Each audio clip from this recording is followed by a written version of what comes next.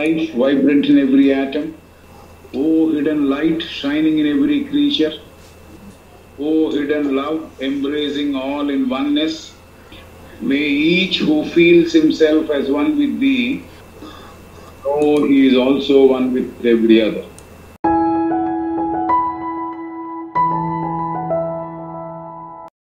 We have talked about the monad, work of the monad, how the permanent atoms are chosen, how the people, requ- how the దేవతా స్వరూపాలు ఎలా వచ్చి ఆ materials కావాల్సినవి help చేస్తాయి to form the atoms and permanent atoms.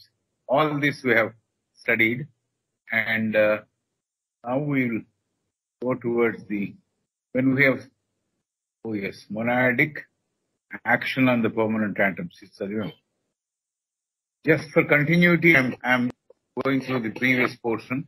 When a person passes out of the normal and takes up the abnormal human evolution, this is where we have to begin today. We are beginning today. Do you want me to cover what happened in the first spirally? అది మనం already చూసాం అది third round లో ఏమవుతుంది first round లో ఏమవుతుంది అది we have covered last time During the first round of the Terence chain, the first set of the spirally but the physical plane atoms becomes thus vivified by the life of the monad flowing through the spiritual triad. So, Adi, is the set of spirally used by the pranic or life breath currents affecting the dense part of the physical body. In the Susamana, we have covered this, how the brain uh, brain building up of the brain happens అనేది we have, we- during the fourth round the fourth set of spirally becomes vivified and the kama manasik prana plays in them kama manasik prana because lower manas and kama are connected interconnected prana plays in them and makes them makes them fit to be used for the building of a brain which is to act as the instrument for thought ఇది మనం చదివాం పోయినమాట now we move to the next uh, uh, paragraph maybe the last paragraph of this particular chapter when a person passes out of the normal and takes up the abnormal human evolution involved in preparing for and entering the path which lies beyond normal evolution. ఇక్కడ comma ఉంది ఇక్కడ ఆపుదాం When a person passes out of the normal and takes up the abnormal human evolution involved in preparing for and entering the path which lies beyond normal evolution. So ఒక సాధారణంగా ఉన్న ఒక మనిషి మామూలుగా ఎదుగుతున్న స్థితి నుంచి కొద్దిగా జరిగి ఆర్ పక్కకి వెళ్ళి ఆర్ ముందుకు సాగి అబ్నార్మల్ హ్యూమన్ ఎవల్యూషన్ అంటే abnormal for this round abnormal for this fourth round. But it is also a, an evolution which is taking place. Kabatti, when a person passes out of the normal and takes up the abnormal human evolution involved in preparing for and entering the path, which lies beyond normal evolution. మామూలు సాధారణంగా ఎదుగుతున్న మనిషికి మనం ఇంక దేనికో పనిచేస్తాము ఇంకో మార్గం మనకి ఓపెన్ అవుతుంది అనే విషయం తెలిసినప్పుడు ఆధ్యాత్మిక పదం కూడా ఉంది అని తెలిసినప్పుడు అతను కొద్దిగా మార్పుతో ఇంకో రకంగా ప్రయాణం చేయడానికి ముందుకు సాగుతున్నప్పుడు so that is what is ఒక మానవుడు లేక మనిషి సాధారణ నార్మల్ పరిణామ క్రమంలోంచి నార్మల్ పరిణామ క్రమంలోంచి ముందుకు సాగి అసాధారణ పరిణామ క్రమాన్ని చేతపుచ్చుకొని or he gets into that stream ఆధ్యాత్మిక పథంలో నడవడానికి సిద్ధపడుతున్న మనిషి ఏం చేస్తాడు? He has then in connection with his permanent attempts a task of exceeding difficulty ఇక్కడ అయింది sentence he has then in connection with the permanent attempts a task of exceeding difficulty so ఇక్కడికి ఇలా మార్పు చెంది తను ముందుకు సాగాలి అనుకుంటున్న అతను ఏం చేయాలంటే సాధారణ పరిణామ క్రమాన్ని దాటి ప్రయాణం చేస్తున్న వాళ్ళు ఏం చేయాలంటే ఈ శాశ్వత అణువులతో సంబంధం కుదుర్చుకోవాలి అతను. శాశ్వత అణువులతో సంబంధం కుదుర్చుకోవాలి. అది అంత సులభమైన ప్రక్రియ కాదు అంటున్నారు ఆయన బెసెంట్ గారు. It's not an easy task a task of exceeding difficulty చాలా చాలా పరిశ్రమతో కూడిన విషయము. చాలా విశేషంగా కఠినమైన సాధన చేస్తేనే అది కుదురుతుంది అని చెబుతున్నారు. కాబట్టి మానవుడు లేక మనిషి సాధారణ నార్మల్ పరిణామ క్రమంలోంచి ముందుకు సాగి అసాధారణ పరిణామ క్రమాన్ని చేతపుచ్చుకొని ఆధ్యాత్మిక పదంలో నడవడానికి సిద్ధపడుతున్న మనిషి ఏం చేస్తాడు అంటే సాధారణ పరిణామక్రమాన్ని దాటి సాధారణ పరిణ పరిణామక్రమాన్ని దాటి ప్రే ప్రేరణిస్తున్నాడు కాబట్టి పయనిస్తున్నాడు కాబట్టి ఆ మనిషి శాశ్వత అణువులతో సంబంధం కుదుర్చుకోవాలి. ఈ కుదుర్చుకోవడం అనేది ఈ సంబంధం కుదుర్చుకోవడం అనేది అంత సులభమైన ప్రక్రియ కాదు అని అంటున్నారు ఆయన బెసెంట్ గారు. చాలా డిఫికల్టీస్తో కూడిన విషయము చాలా కఠినమైన సాధన. ఆ సాధనలో చాలా ఎక్కువగా శ్రమించాల్సి వస్తుంది. So this is what she said in the first sentence of new paragraph which you are considering today and a person passes out in the normal and takes up the abnormal human evolution involved in preparing for and entering the path involved in preparing for and entering the path మనం సంసిద్ధత పొందడానికి ప్రయత్నిస్తున్నాము. లేక ఆ ఆధ్యాత్మిక పదంలోనో లేకపోతే ఆ- వేరే మార్గంలోనో ప్రవేశించి ముందుకు సాగడానికి ప్రయత్నిస్తున్నాం. అది ఎక్కడుంది? Which lies beyond normal evolution సాధారణ పరిణామ క్రమానికి ఆవల ఉన్నది. అంటే మామూలుగా అందరూ సాగుతున్న ప్రయాణంలో మనం ప్రయాణం చేస్తుంటే ఆ రెండో రకమైన సంసిద్ధత మనకి రాదు. అలాగే ఆ మార్గంలో మనం వెళ్ళాలి అనే ఆలోచన కూడా మనకి రాకపోవచ్చు. కాబట్టి అసాధారణ అని ఎందుకందంటే నార్మల్ ఎవల్యూషన్ కన్నా తేడాగా ఉంది కాబట్టి అంది. అంతకు తప్ప అది అసాధారణమైన విషయం ఏం కాదు. సాధారణంగా తొంభై తొమ్మిది మంది మామూలుగా ముందుకు సాగుతుంటే ఒక మనిషి ఈ పరిణామ క్రమాన్ని దాటి ఇంకో మార్గంలో పయనించాలి అనుకోవడం ఆ- ప్రక్రియ గురించి చెబుతోంది. But it is not easy అంటోంది ఆవిడ. ఎందుకు? ఏది ఈజీ కాదు? He has to get in touch with permanent atom that person who wants to tread that path ఏ మార్గంలో అయితే పయనించదలుచుకున్నాడో వేరే కొద్దిగా తేడాగా ఉన్న మార్గంలో పయనించదలుచుకున్నాడో అతను ఏం చేయాలంటే ఈ పర్మనెంట్ శాశ్వత అణువులతో సంబంధం ఏర్పరచుకోవాలి. కాబట్టి అది అంత ఈజీ పని కాదు. టాస్క్ అంటే యాక్చువల్గా సాధించాల్సిన విషయం కదా టాస్క్ అంటే. మామూలు స్మాల్ యాక్ట్ కాదు. It's task means it's a very difficult task ఆ ఆ పని ఆ కష్టముతో కూడిన పని చాలా డిఫికల్టీస్తో కూడిన పని చాలా కఠినమైన సాధనతోనే సాధ్యము. కాబట్టి అతను చాలా పరిశ్రమించాలి అని చెబుతున్నారు. He must vivify more sets of spirillae than are vivified in the humanity of his time. సాధారణ మానవులకి వారికి ఉండే పర్మనెంట్ ఆటమ్లో ఎన్ని సుడియాకారాలు శక్తి పొంది ఉన్నాయో అంతకన్నా ఎక్కువ సూర్యాకారములని శక్తివంతం చేయాలి వాటిని తో పని చేయగలగాలి అది పర్మనెంట్ ఆటమ్స్తో తను సంబంధం ఏర్పరచుకుని తను చేయాల్సిన విషయం he must vivify more sets of spirillae than than are vivified in the humanity of his time మానవాళంతా మిగతా వాళ్ళందరూ మామూలుగా సాధారణంగా సాగిపోతున్నారు. ఈ విడిగా కొద్దిగా ప్రత్యేక ఐ ఆడిబుల్ హలో ఆవిడ సత్యవతి గారు ఎందుకో కాల్ చేస్తున్నారు. నేను డిక్లైన్ చేశా. వినపట్టం లేదని ఏమైనా చేస్తున్నారా నాకు తెలియలే.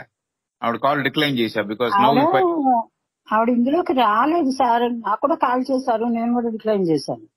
క్లాస్ అవుతుంది కదా డిస్టర్బ్ చేయడం ఎందుకంటే మనం నేను యాక్సెప్ట్ చేస్తే ఈ ఈ జూమ్ లోంచి బయటకు వెళ్ళిపోతాం. మళ్ళీ ఎంటర్ అవ్వాలి. అందుకని నేను డిక్లైన్ చేశా? ఓకే. ఒకవేళ చెప్పాల్సి వస్తే చెప్పడం. ఓకే. సరే. He must vivify more sets of spirillae నాలుగు సాధారణంగా. మోర్ సెట్స్ ఆఫ్ స్పైరల్ ఉంటుంది ఐదు. ఆరోది కూడా ఉందేమో.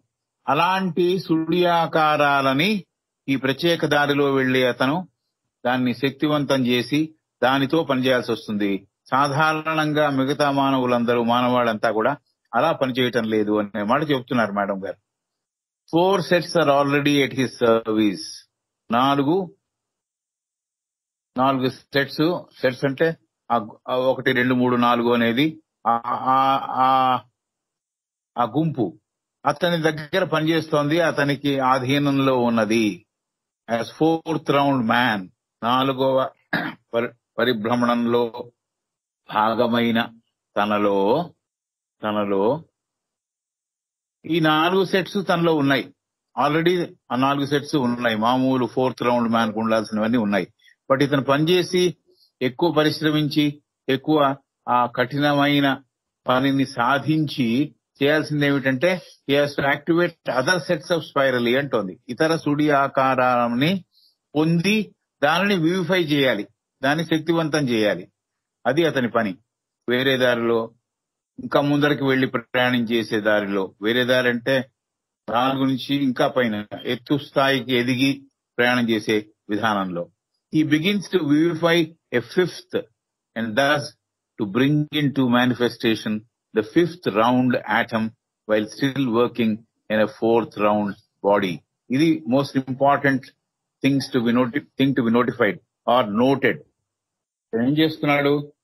తన పరిస్థితుల్ని అధిగమించడానికి అతను సాధారణ మానవులు లేక మానవాళి కన్నా ఎక్కువ తరపు ఎక్కువ రకాల సుడితో కూడిన ఆకారాల్ని శక్తివంతం చేయాల్సి ఉంటుంది. నాలుగవ పరిక్రమణలో నాలుగు సుడి ఆకారాలు తనకి పనిచేసేట్టుగా అమరి ఉన్నాయి. ఇతనికి కూడా అందరిలాగానే నాలుగు నాలుగో పరిక్రమణలో భాగంగా నాలుగు సుడి ఆకారాలు మామూలుగా అతని అందుబాటులో ఉన్నాయి.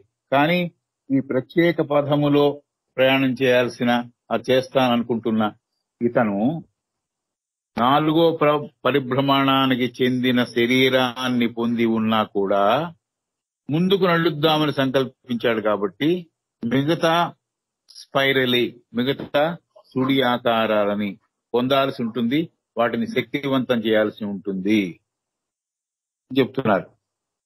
సో ఇది అందుకనే వాళ్ళు అడ్వాన్స్డ్గా కనిపిస్తారు మనకన్నా. మామూలు మనుషుల కన్నా అడ్వాన్స్డ్గా ఎందుకు కనిపిస్తారంటే వాళ్ళు చేసిన సాధన వల్ల వారు మిగతా సూడి ఆకారాలని యాక్టివేట్ చేశారు కాబట్టి. Begins vivify to a fifth and thus to bring into manifestation the fifth round atom while still working in the fourth round body నాలుగో పరిభ్రమణంలో యాక్టివేట్ అవ్వాల్సిన అణువు తన పరిశ్రమ వల్ల నాలుగో రౌండ్లో ఉండగానే నాలుగో రౌండ్కు సంబంధించిన శరీరం తన ధరించి ఉండగానే యాక్టివేట్ చేయగలుగుతున్నాడు యాక్టివేట్ చేస్తున్నాడు దాన్ని శక్తివంతం చేస్తున్నాడు అని చెప్తున్నారు. సపోజ్ ఇట్స్ వెరీ క్లియర్ మామూలుగా మనకి నాలుగో పరిభ్రమణంలో నాలుగు సుడి ఆకారాలు ఉన్నాయి అనుకుంటే ఈ ప్రత్యేకమైన ముందుకు సాగుతున్న వ్యక్తి ఎవరైతే ఉన్నారో అతను ఐదవ పరిభ్రమానికి చెందిన అణువుని అలాగే ఆ సుడియాకారాలని పొంది వాటిని శక్తివంతం చేయాల్సిన పనిని అతను సంకల్పిస్తున్నాడు. అంత ఆ సంకల్పానికి ముందర ఏం సంకల్పించాడంటే నేను అధిగమించాలి ఈ ఈ ఈ దారిలో నేను వెళ్ళాలి అని దానికోసం ప్రిపేర్ అయ్యాడు. దానికోసం ఆ ఆ మార్గంలో వెళ్ళడానికి నిశ్చయించుకున్నాడు కాబట్టి. Right it is to this that allusion is made in some early Theosophical books in which fifth rounders and sixth rounders are spoken of as appearing in our present humanity. It is to this that illusion is made in some early theosophical books in which fifth rounders and sixth rounders are spoken of as appearing in our present humanity. So, దీన్ని పురస్కరించుకొని ఈ ఉపమానాన్ని లేకపోతే ఈ పోలికని కొన్ని దివ్యజ్ఞాన వాంగ్మయంలో పూర్వతరంలో వచ్చిన పుస్తకాలలో వీటి గురించి చెప్పారు. ఎవరి గురించి? ఈ ఫిఫ్త్ రౌండర్స్ గురించి. నాలుగో పరిభ్రమణం జరుగుతున్న ఫిఫ్త్ రౌండ్లో ఉండే వాళ్ళు అలాగే సిక్స్త్ రౌండ్లో ఉండే వాళ్ళ గురించి మన దివ్యజ్ఞాన వాంగ్మయం. ఎర్లీ థియోసాఫికల్ బుక్స్ అంటే అంతకు ముందు మామూలుగా ఇప్పుడు కొత్తగా కొత్తగా వచ్చిన పుస్తకాలు కాకుండా ప్రాచీన దివ్యజ్ఞాన వాంగ్మయంలో వీరి గురించి చెప్పబడింది. వీరి గురించి ఎల్యూషన్ అంటే దాన్ని పోల్చి దాన్ని వివరించి చెప్పడం. కాబట్టి fifth rounders and sixth rounders గురించి చెప్పడం జరిగింది. It is to this that allusion is made reference is made in some early theosophical books in which fifth rounders and sixth rounders are spoken of as appearing in our present humanity మనం నాలుగో రౌండ్లో ఉండగానే కూడా మనమంతా చాలా మంది నాలుగో రౌండ్లో ఉండగా ఐదవ రౌండ్లో పయనించే వాళ్ళు అంతకన్నా ఆరవ రౌండ్లో పయనించే వాళ్ళు కూడా నాలుగో రౌండ్ వాళ్ళకి కనిపించి వాళ్ళతో పాటు జీవనం సాగించే వాళ్ళు మనకు కనిపిస్తారు అని చెప్పి ప్రాచీన దివ్యజ్ఞాన జ్ఞాన వాంగ్మయంలో ఉంది అని చెప్తున్నారు. సో ప్రజెంట్ మానవాళిలో ఇది మనం చూస్తాము మనం తరచు చూస్తూ ఉంటాము. దీని గురించే పాత వాంగ్మయం చెప్పింది దివ్యజ్ఞాన వాంగ్మయం చెప్పింది అని చెప్తున్నారు. Those thus designated have evolved the fifth and sixth sets of in the permanent items so వాళ్ళు ఏం చేశారు? ఫిఫ్త్ రౌండర్గా ఎందుకు అయ్యాడు? సిక్స్త్ రౌండర్గా ఎందుకు అయ్యాడు అంటే వారి పర్మనెంట్ ఐటమ్లో ఐదవది ఆరవది ఈ సుడి ఆకారాల్ని వాళ్ళు యాక్టివేట్ చేశారు. వాళ్ళు దానికి శక్తినిచ్చారు. దానితో దానికి కావలసిన అణు పదార్థాలన్నీ చేర్చుకొని ఆ స్పైరలిని ఆ సుడి ఆకారాన్ని పొంది ఉన్నారు. దాన్ని శక్తివంతం చేసినారు. So those that designated designated అంటే ఐదో రౌండ్లు ఆరో రౌండ్లు అని చెప్తున్న రౌండర్స్ అని చెప్తున్న వాళ్ళు దే హ్యావ్ ఇవాల్వ్డ్ వాళ్ళు పరిణితి సాధించారు. The fifth and sixth set of spirillae in they permanent atoms thus obtaining a better instrument for the use of their highly developed consciousness.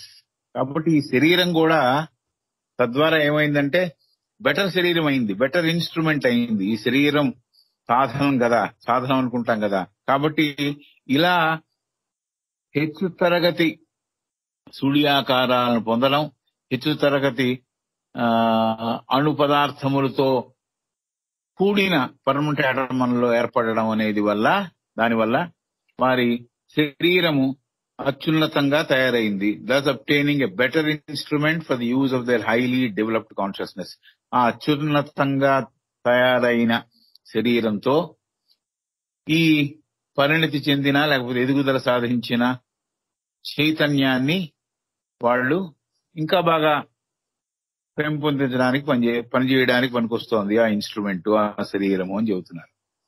Those thus designated have evolved the fifth and sixth set of spirillae in the permanent atoms thus obtaining a better instrument for the use of their highly developed consciousness so వాళ్ళ body develop కావడం కాదు వాళ్ళ చేతనత్వము చైతన్యం కూడా develop అయి ఆ చేతనత్వానికి ఎంత మేరకు ఎదుగుదల సాధించిన శరీరం కావాలో అలాంటి శరీరము ఆ ఫిఫ్త్ సుడియాకారము సిక్స్త్ సుడియాకారముని యాక్టివేట్ చేసి శక్తివంతం చేసి అలాంటి శరీరాన్ని పొంది అత్యున్నత శరీరము అత్యున్నత చేతనత్వము పొంది ఉన్నారు వాళ్ళు.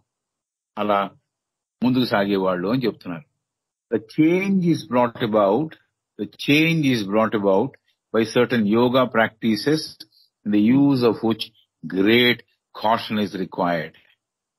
ఎలా సాధ్యమైంది వాళ్ళకి ఈ మార్పు అంటే ఈ మార్పు ఎదుగుదల ఈ ఐదో స్పైరల్ పట్టుకోవడం ఆరో స్పైరల్ పట్టుకోవడం దాన్ని శక్తివంతం చేయడం అనేది ఎలా సాధ్యమైంది అంటే కొన్ని ప్రత్యేకమైన యోగ క్రియలని వాడు పట్టుకున్నందువల్ల వాటిని వాడినందువల్ల వచ్చింది అన్నారు అయితే అవి వాడడానికి చాలా జాగ్రత్త వహించాల్సి ఉంటుంది అని మటుకు హెచ్చరిస్తున్నారు. సో ఈ మార్పులు కొన్ని యో- యోగ ప్రక్రియల ద్వారా ఈ పదాన్ని వెళ్ళే వాళ్ళకి ఈ ముందుకు సాగే వారికి సంక్రమిస్తాయి. ఈ యోగ విధానాలని అతి జాగ్రత్తగా సాధన చేయాల్సి ఉంటుందని హెచ్చరిక చేస్తున్నారు. అనిపిస్తుంది so the change is brought about by certain yoga practices in the use of which great caution is required lest injury should be inflicted on the brain in which this work is being carried out, carried on, and further progress along the particular line stop during the present incarnation. So, ఒకవేళ జాగ్రత్త వహించకపోతే ఈ yoga practices ఏదో పుస్తకం చూసి చదవడము లేకపోతే చే- చేయడము లేకపోతే సరి అయిన గురువు లేకుండా మనంతట మనమే ఏదో చేయగల చేయడము చేస్తే ఏమవుతుంది? మెదడు దెబ్బతింటుంది. మెదడుకి దెబ్బ తగులుతుంది. తద్వారా ఏమవుతుంది?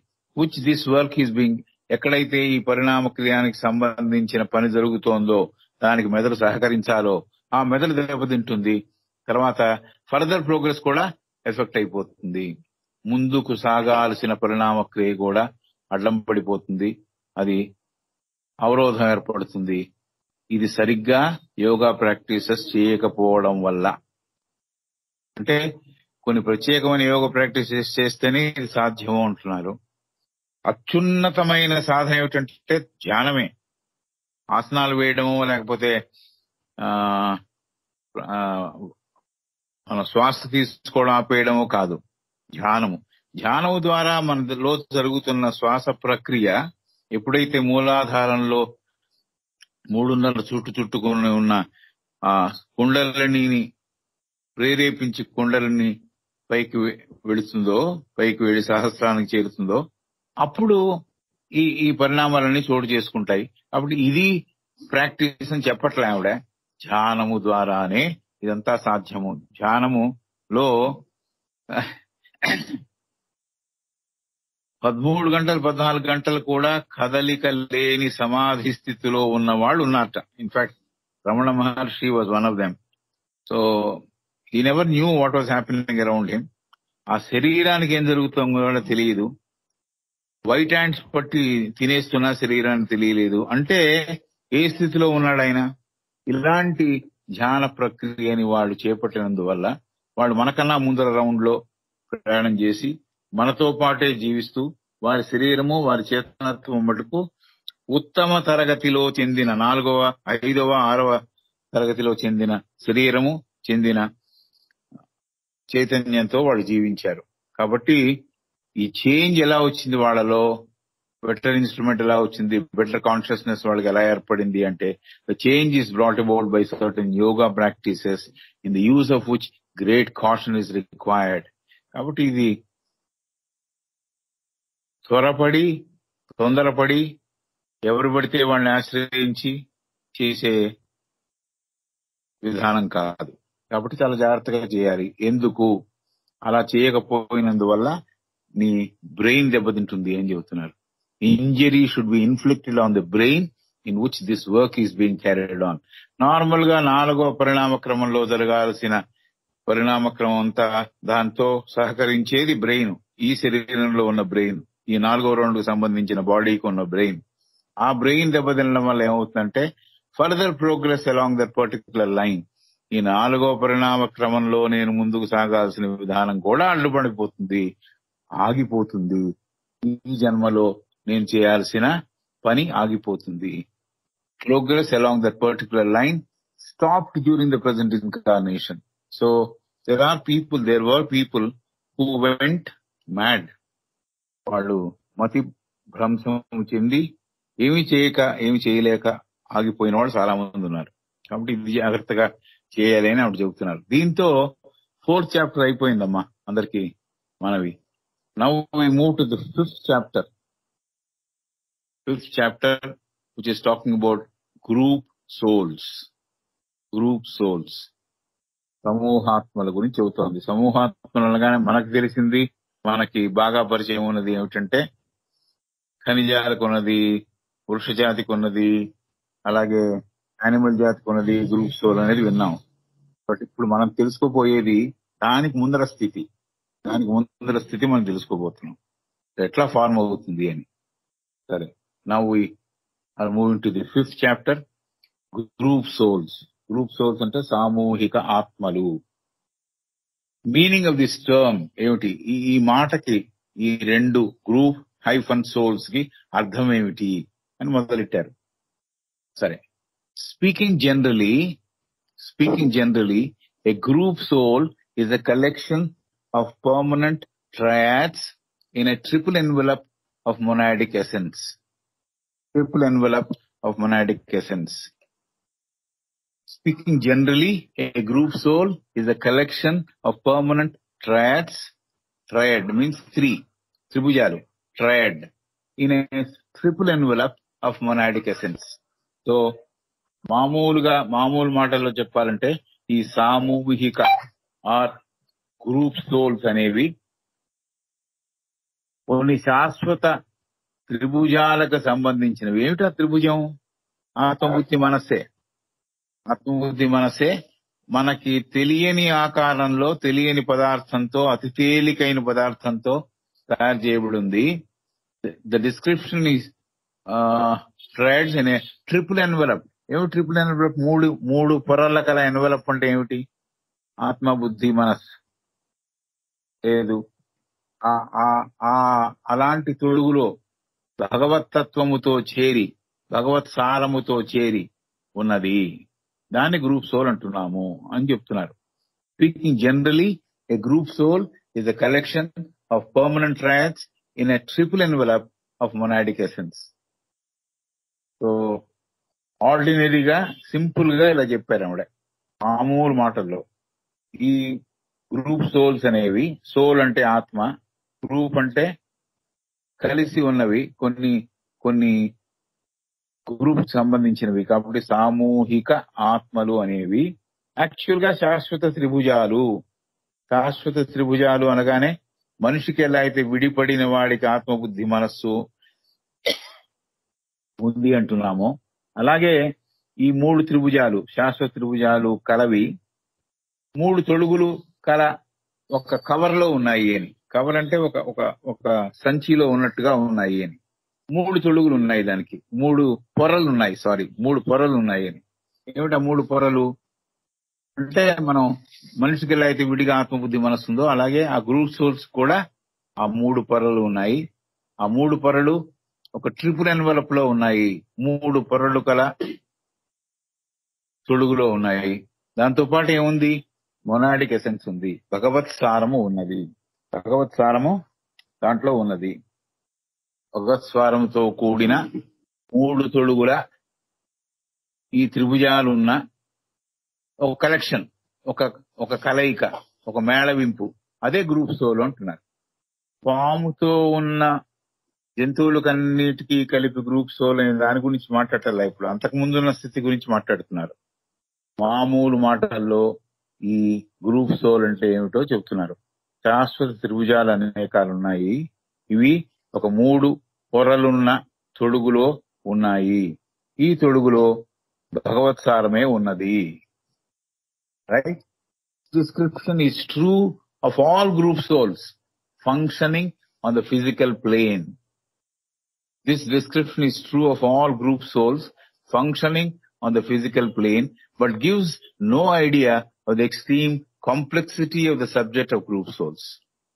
So ఈ ఏదైతే వర్ణించి చెప్పిందో ఒక మేళవింపు అని చెప్పింది కదా ఒక కలయిక అని చెప్పింది కదా పర్మనెంట్ ట్రాడ్స్ పర్మనెంట్ ట్రాయడ్ అంటే శాశ్వత త్రిభుజములు ఉన్నాయి. ఈ త్రిభుజంలోని మూడు పొరలు గల ఒక సంచి లాంటి దాంట్లో ఉన్నాయి. ఆ సంచిలో భగవత్ సారం కూడా ఉన్నది. చెప్పిన వర్ణన ఏదైతే ఉందో ఇది అన్ని గ్రూప్ సోర్స్కి ఇది వర్తిస్తుంది అని చెబుతున్నారు. ఏమిటి? భగవత్ సారమే ఈ వర్ణన. అన్ని సమూహాత్మలకి వర్తిస్తుంది. అంటే ఏ సమూహాత్మ అయినా కూడా ఈ డిస్క్రిప్షన్ మనం ఏదైతే పైన చదువుకున్నాము ఈ మేళ అనేది చదువుకున్నాం పర్మనెంట్ ట్రయల్స్ మూడు పొరల ఎన్వలపు భగవత్ సారము కలిగినది. ఈ ఈ ఈ మూడిటి సమ్మేళనము గురించి అన్ని సమూహాత్మలకి ఈ వర్ణన వర్తిస్తుంది అని చెబుతున్నారు. ఇదంతా ఎక్కడ కనిపిస్తోంది అంటే భౌతికతనములో పనిచేస్తూ కనిపిస్తోంది. This description is true of all the group souls functioning at the physical plane A group souls భౌతిక తలంలో పనిచేస్తున్నా వాటికి వర్ణన సంబంధించినదే. దానికి సంబంధించినదే. ఈ గ్రూప్ సోల్స్కి సంబంధించినదే. ఆ గ్రూప్ సోల్స్ డిస్క్రైబ్ చేయడానికే ఈ పై డిస్క్రిప్షన్ పనికొస్తుంది. ఇవన్నీ భౌతిక తలంలో పనిచేస్తున్నవి. అయినా కూడా but gives no idea of the extreme complexity of the subject of group souls so group souls ఈ సమూహాత్మల గురించి వివరంగా తెలియజేయాలి లేకపోతే తెలుసుకోవాలి అనే సంక్లిష్టతతో కూడిన విషయాలు ఏవైతే ఉన్నాయో వాటి యొక్క వివరాలని ఇది అందించడం లేదు.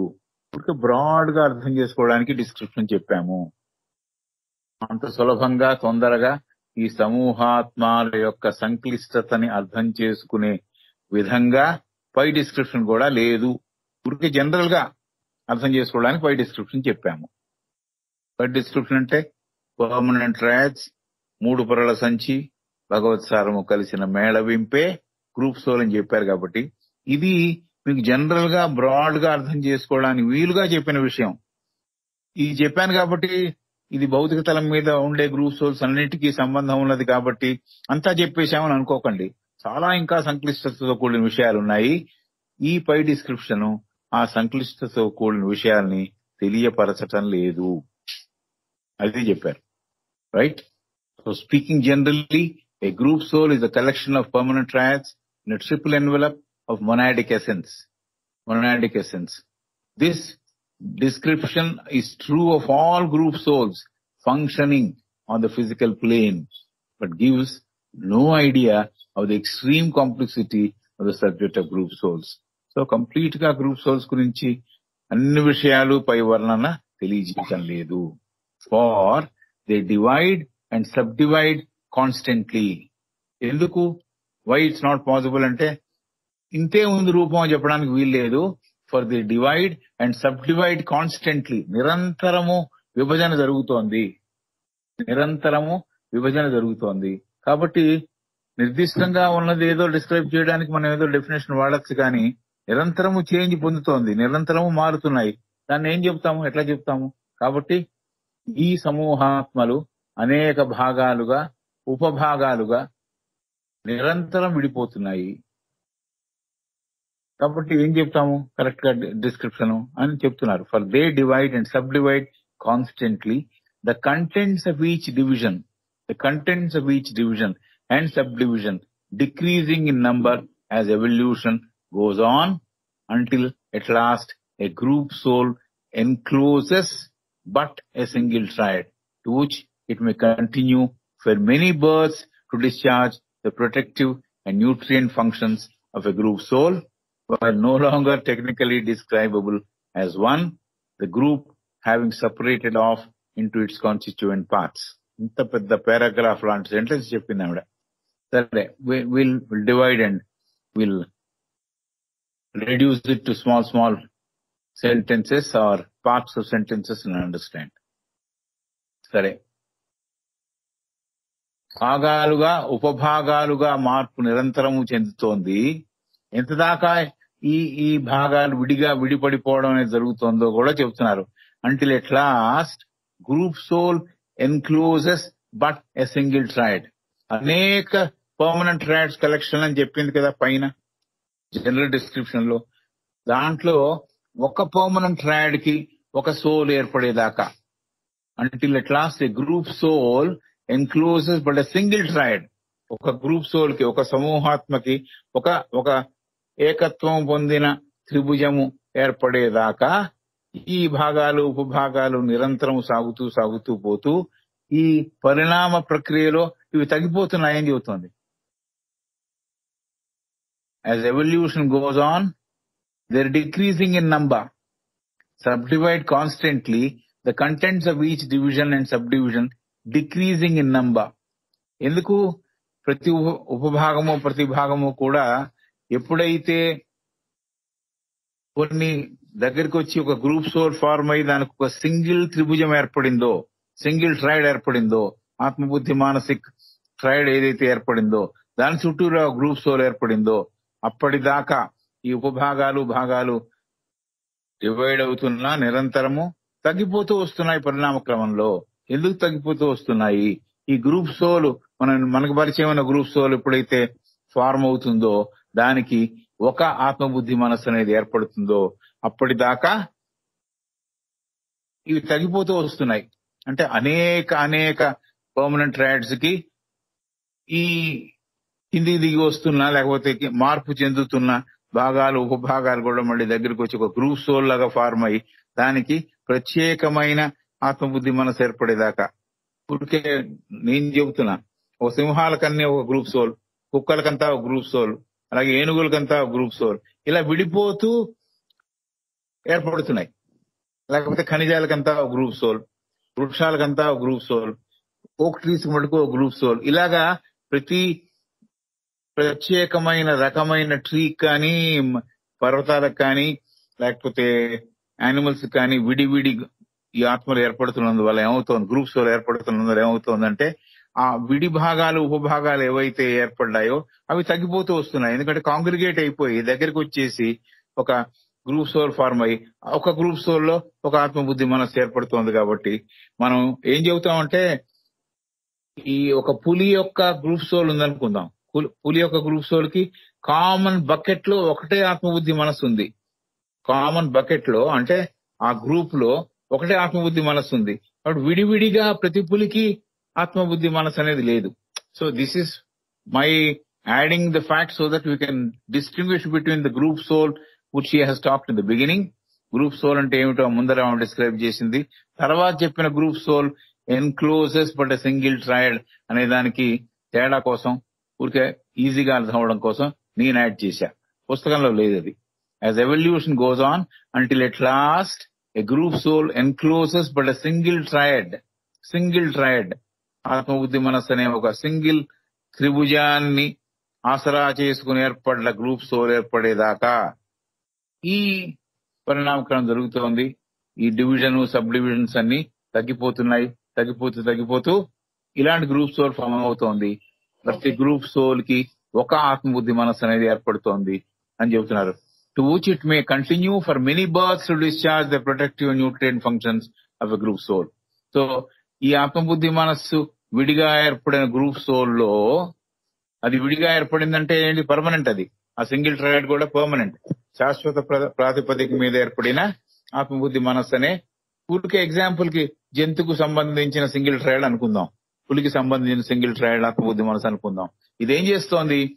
To which it may continue for many births to discharge అనేక జన్మలకి అనేక సార్లు మామూలు పులిగా చారల పులిగా లేకపోతే ఇంకేదో రకమైన పులిగా ఇలా చాలా జన్మలు ఎత్తి discharge protective and nutrient functions of a group soul so అది ఏం చేస్తోంది? రక్షిస్తోంది అలాగే పోషిస్తోంది ఈ గ్రూప్ సోల్ ఈ ఈ సింగిల్ ట్రయల్ అనేది అని చెప్తున్నారు. సో పరిణామ క్రమంలో ముందుకు సాగుతున్నప్పుడు చివరి సమూహాత్మలో భాగము. అంటే ఈ కొన్ని విడిపోయిన మడి దగ్గరికి వచ్చి ఇట్లా ఫామ్ చేస్తున్నప్పుడు సమూహాత్మ భాగం ఏకా ఏకత్వం పొందిన ఏకత్వం పొంది ఇండివిజువలైజ్ అయిన ఆ లెవెల్లో ఇండివిజువలైజ్ అయిన. Not talking about man getting unindividualized కాదు. పులి సమూహానికి అంతటికీ ఒక ఆత్మబుద్ధి మనస్సు. అలా ఏకత్వం పొందిన శాశ్వత త్రిభుజాకారంలో చేరేదాకా పరిణామ క్రమంలో ఎదుగుదలలో భాగంగా సమూహాత్మలు విడితనము పొంది ఆ రకపు మార్పు చెందిన సమూహాత్మలు రక్షణ పొంది పోషింపబడి బహుజన్మలు ఎత్తుతున్నాయి అనేక బర్త్స్ బహుజన్మలు ఎత్తుతున్నాయి అని చెప్తాం. సో దాంట్లో కూడా పరిణామం ఉంది. అంటే మనం ఎలా అయితే మనిషి బోర్డుని జన్మ ఎత్తిన తర్వాత పరిణామ క్రమంలో అతను చూడు సంపాదించుకుంటున్నాడో లేకపోతే నెక్స్ట్ స్టేజ్కి ఎదుగుతున్నాడో అలాగే యానిమల్స్లో కూడా చాలా జన్మలు ఎత్తిన తర్వాత దానికి పరిణితి వస్తుందేమో పూర్తి ఎదుగుదల వస్తుందేమో కాబట్టి అది చెప్పింది ఆవిడ. పెద్ద సెంటెన్స్ చెప్పింది అది matter at last a group soul encloses but a single triad to which it may continue for many births to discharge the protective and nutrient function of a group soul so ఇలాగ ఈ group సోల్ని పరిరక్షిస్తూ పోషిస్తూ తన చేసుకుంటూ అనేక జన్మలు ఎత్తుతూ ముందుకు సాగుతోంది ఆ గ్రూప్ సోలు అనేది అని చెప్తున్నారు. While no longer technically describable as one ఇప్పటికీ while no longer technically describable as one the group having separated off into constituent parts so ఇప్పటికీ కూడా ఒక రకంగా సాంకేతికంగా టెక్నికల్గా అంటే ఇది యథమిత్తంగా ఇది అని చెప్పడానికి వీలు లేనిదైనా కూడా ఇది జరుగుతోంది. ఈ ఈ ఈ మార్పులన్నీ జరుగుతున్నాయి. ఇంత మార్పులు జరిగినా కూడా no longer technically describable as one అంటే ఇది ఇదే ఇంతే ఇదమిత్తంగా ఇంతే అని చెప్పడానికి వీలు లేని ఒక గ్రూప్ ఒక సమూహం. ఇంత గ్రూప్ సోలు ఇంత విడితనము పొందిన ఒక బకెట్లో ఆ ఆత్మబుద్ధి మనసు ఉంటే దాంట్లో చాలా చాలా ఈ పులులు అన్ని ఉన్నాయనుకున్నా కూడా even then no longer technically describable as one the group having separated off into constituent parts so తనకు సంబంధించిన భాగములను తనలో పొంది విడిపోయి ఒక గ్రూప్గా ఏర్పడింది అని సాంకేతికంగా సాంకేతికంగా అంటే విషయం అర్థం చేసుకోవడానికి డిఫైన్ చేయడానికి వీలుగా ఏర్పడలేదు ఇంకాను. అంటే ఎంత ఫ్లూయిడ్స్ ఎంత ఫ్లూయిడ్ స్టేట్లో ఉందో చూడండి. అంటే మనకి సూక్ష్మత పొందడం ఒకటి సూక్ష్మత పొంద సూక్ష్మత కలిగిన పదార్థం కలగడం ఒకటి అనేకమైనవి భాగాలుగా ఏర్పడి ఉపభాగాలుగా ఏర్పడి విడిపోయి మళ్ళీ దగ్గరికి వచ్చి గ్రూప్ సోల్ ఫామ్ అయి గ్రూప్ సోల్ ఎలా ఫామ్ అయింది? ఏకత్వం పొందిన ఆత్మబుద్ధి మనస్సుతో ఒక గ్రూప్ సోల్ ఏర్పడి ఆ గ్రూప్ సోల్ మనం అర్థం చేసుకోవడానికి వీలుగా ఏమన్నామంటే ఓ పులుల గ్రూప్ సోల్ పులుల బకెట్లో ఉన్న గ్రూప్ సోల్ అంటున్నాం. ఆ గ్రూప్ సోల్ ప్రతి పులికి సంబంధించిన ఆత్మబుద్ధి మనసు ఆ బకెట్లో ఉంది ఆ సంచిలో ఉంది. కాబట్టి అలా ఏర్పడింది. ఇంత జరిగినా కూడా ఇంత మార్పు వచ్చినా కూడా while no longer technically describable as one the group having separated off into constituent parts so ఇంత జరిగినా కూడా దీన్ని నిర్దిష్టంగా నిర్వచించడానికి వీలు లేనిది.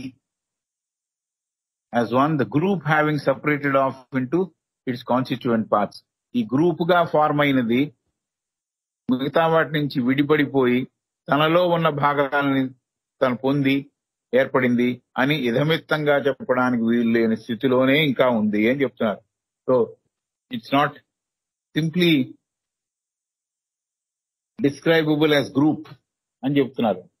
సో ఇది ఇది జాగ్రత్తగా మనం అర్థం చేసుకుంటేనే తెలుస్తుంది. మనకి ఎక్కడి నుంచి చెప్పారు? టెక్స్ట్ బుక్ ఆఫ్ థియాసఫీలో కానీ దేంట్లో కానీ మినరల్కి గ్రూప్ సోలు వృక్షములకి గ్రూప్ సోలు యానిమల్స్కి గ్రూప్ సోలు ఇలా ఉన్నాయని చెప్పారు. ఇక్కడి నుంచి మొదలెట్టారు. ఇప్పుడు ఈవిడు చెప్పే కాన్షియస్నెస్ గురించి చెప్తూ అసలు ఫార్మింగ్ ఎలా అయింది గ్రూప్ సోల్ అని చెప్పడానికి దాని ముందర స్థితి మనకు డిస్టర్బ్ చేసింది. కాబట్టి సులభంగా తొందరగా ఈ సమూహాత్మల యొక్క సంక్షిప్తతను అర్థం చేసుకోలేము అని చెప్పడానికి అసలు కారణం ఇది.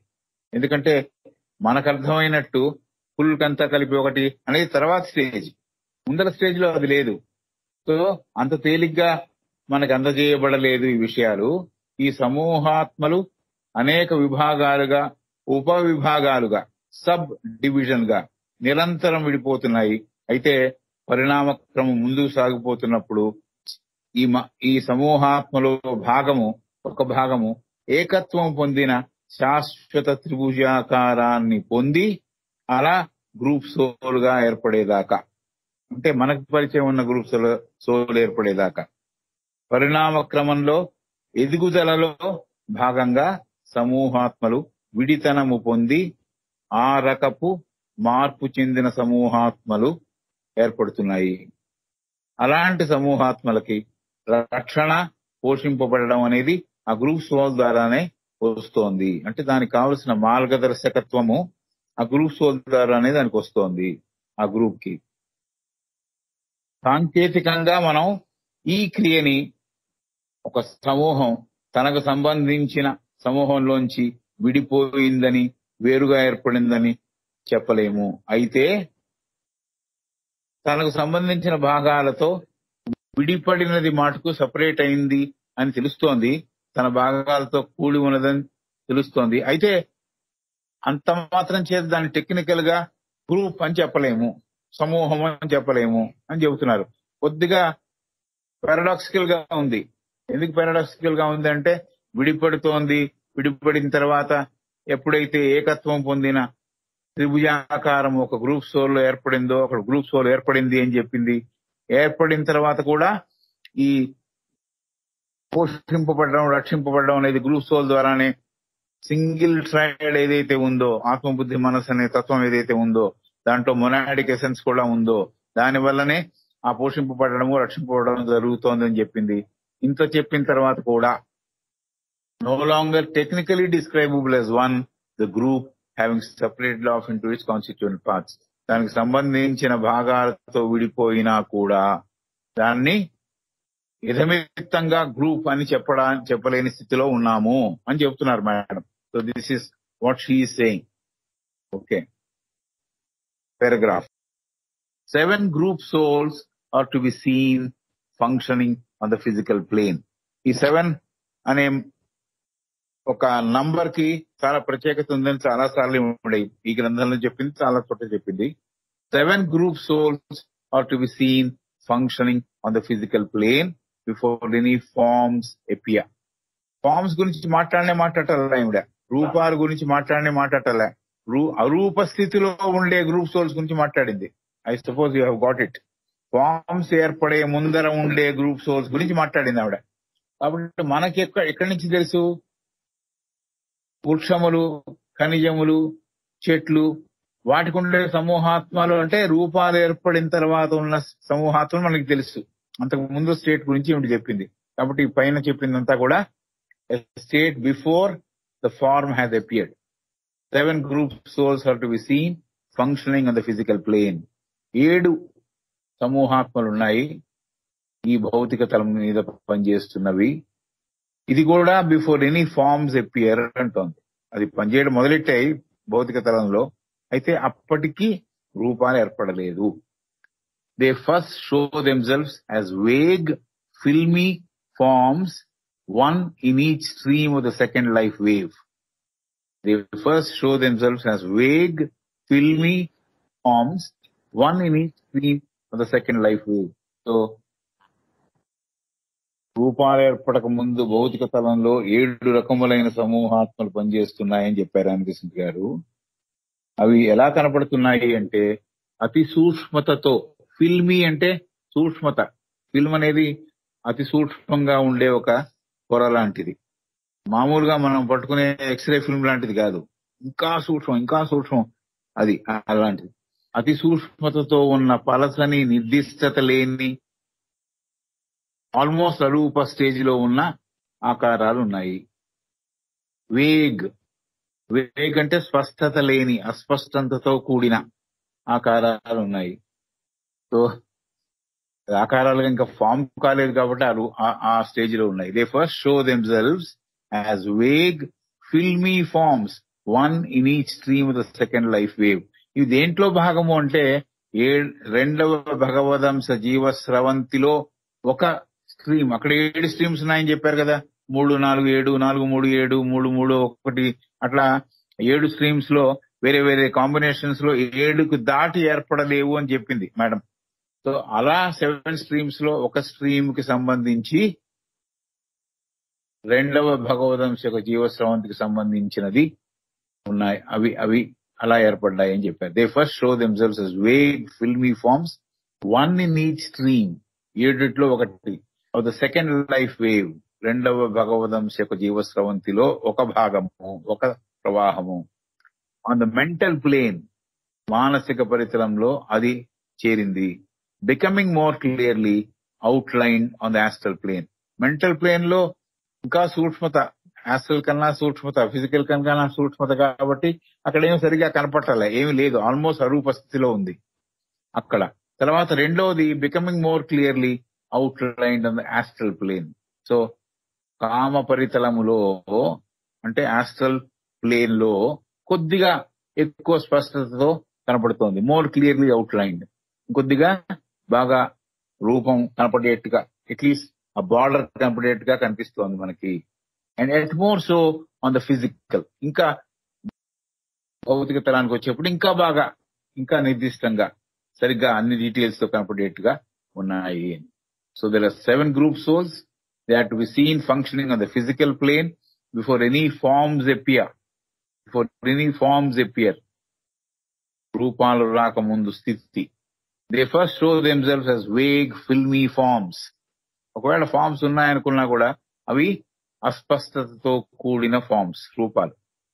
One in each stream of the second life wave ఏడు స్ట్రీమ్స్ ఉన్నాయని చదువుకున్నాం.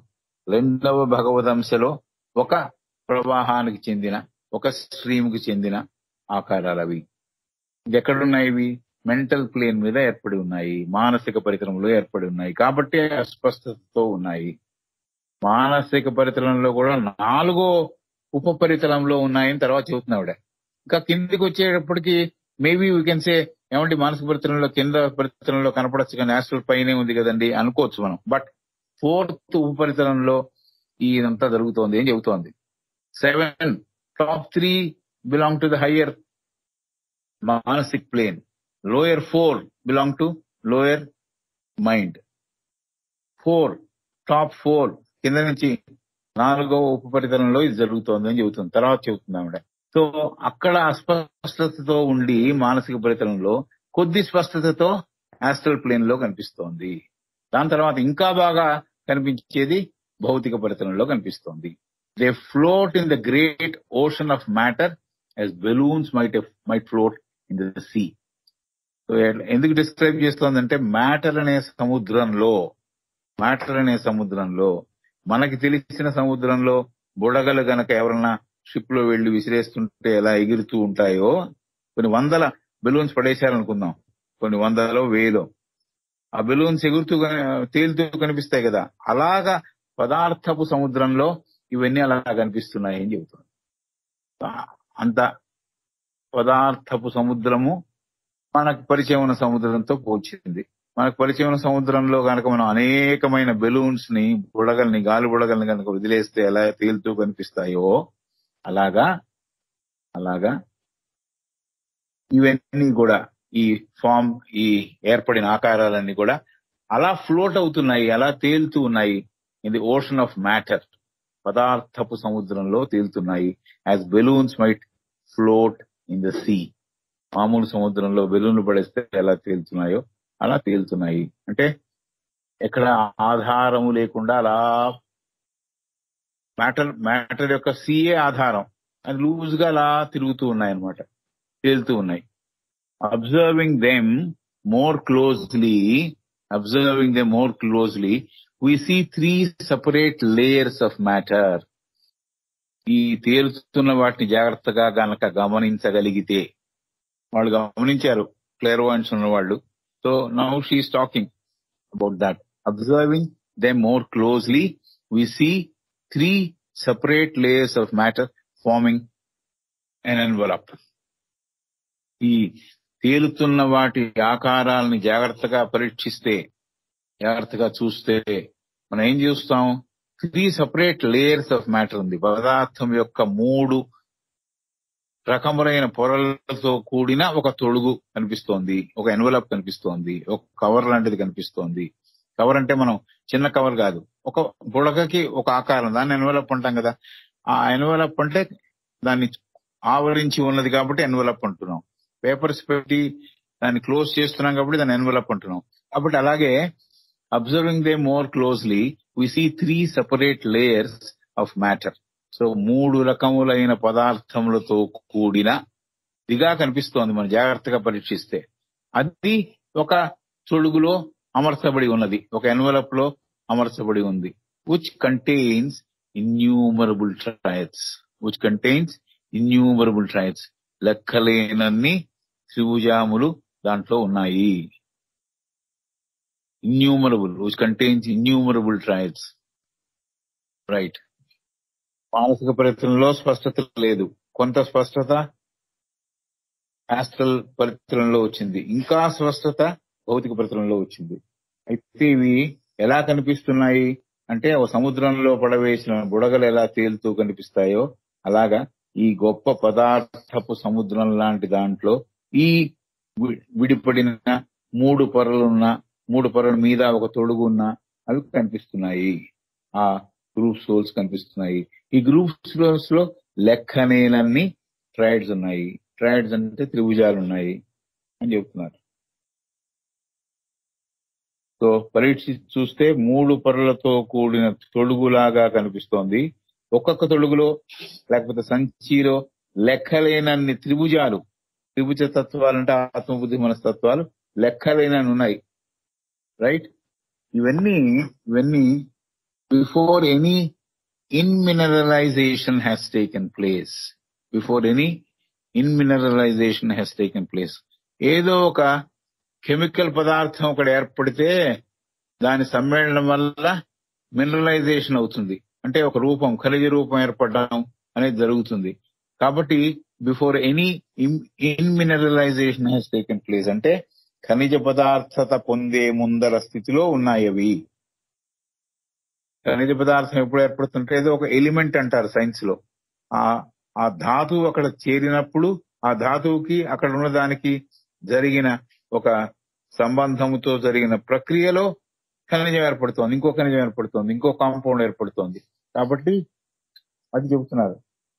ఒక్కొక్క తొడుగులో సంచిలో లెక్కలేనన్ని త్రిభుజాలు ఉన్నాయి ఇవి ఖనిజ పదార్థత పొందే ముందర స్థితిలో ఉన్నాయి.